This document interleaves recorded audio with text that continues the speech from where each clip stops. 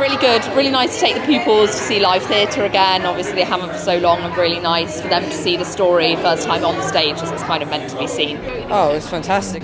Very moving. It's like a really big plot twist. I studied the show for uh, GCSEs, and I thought it was very similar to what I studied, and I think it was really helpful to see it in person. They really want for those kids in the audience to realise that society has to change.